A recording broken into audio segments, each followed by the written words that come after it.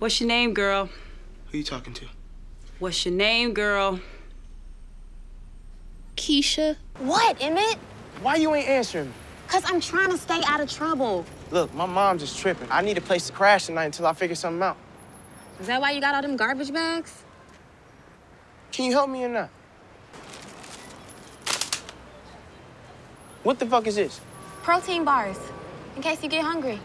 Look, I don't mind you coming here to drop no money, y'all. Just don't come to my house looking like no hooker. Look, I don't want no parts of your situation, okay? I'm dressed up for my man, not yours, boo. I don't need no apologies from you.